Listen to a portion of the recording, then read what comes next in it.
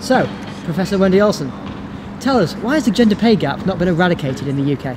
Well, it seems to be very sticky. It's gone down over the years, but it's still 17% of wages. That's like two pounds per hour on your wages.